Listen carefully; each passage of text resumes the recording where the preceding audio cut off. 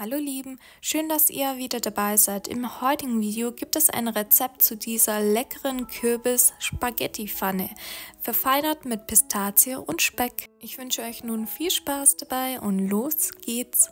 Wir benötigen natürlich unsere Hauptzutat, nämlich einen Kürbis. Ich verwende einen Hokkaido-Kürbis. Dieser kommt direkt aus unserem Garten, wiegt rund ein Kilogramm und ich werde die ganze Kürbissoße für 500 Gramm Spaghettis zubereiten. Ihr könnt natürlich das Ganze dann auch einfrieren, falls die Portion für euch zu viel ist. Da wir einen Hokkaido-Kürbis verwenden, können wir die Schale mitessen. Deshalb schaut erstmal, dass ihr den Kürbis schön sauber macht. Dann halbiert ihr und entkernt ihn und schneidet ihn in circa 1 bis 2 cm dicke Scheiben zurecht. Denn je nachdem, wie dick oder dünn ihr die Scheiben zurechtschneidet, desto länger oder kürzer braucht das Ganze nachher im Backofen. Dann kommt noch eine Paprika halbieren und wieder in größere Stücke zurechtschneiden.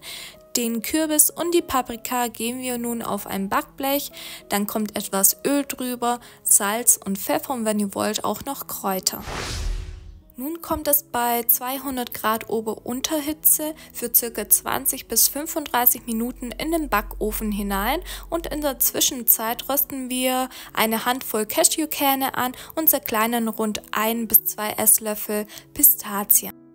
In eine Pfanne geben wir einen Esslöffel Honig hinein und Speckwürfel oder Speckstreifen, so viel wie ihr mögt. Das wird dann schön angebraten, dazu kommt dann noch ein Esslöffel Tomatenmark, ist optional, finde ich aber lecker und schön anbraten, bis es euch gefällt und schön knusprig ist. Mittlerweile müsste dann auch euer Ofengemüse durch sein und dann müsst ihr das Ganze entweder pürieren oder gebt es portionsweise in einen Mixer hinein, so wie ich einfach schön zerkleinern, dass ihr einfach einen Brei habt. Dazu gebt ihr dann einen Becher Hüttenkäse und auch Frischkäse hinzu. Je nachdem könnt ihr auch etwas weglassen oder eben durch etwas anderes ergänzen. Dann habt ihr schon einen leckeren Kürbisbrei. Den kann man natürlich so dann auch essen. Aber wir möchten natürlich eine Soße haben. Deshalb kommen noch rund 150 Milliliter Schlagsahne dazu.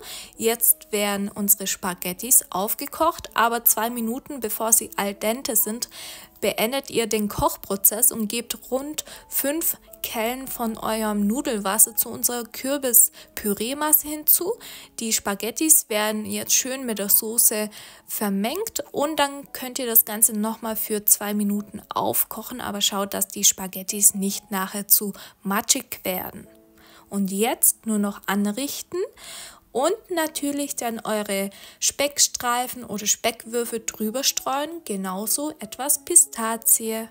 Dieses Rezept ist so einfach und schmeckt wirklich sehr gut. Das sind einfach die besten Spaghettis, die ich je gegessen habe. Wirklich. Probiert das aus, denn die Kürbissoße macht einfach alles so schön cremig. Und ja, das war's mal wieder für heute. Welche Kürbisrezepte liebst du denn? Schreib es gerne in die Kommentare hinein. Und ich hoffe, das Video hat euch gefallen und es geht euch allen gut. Bleibt gesund und wir sehen uns bald wieder.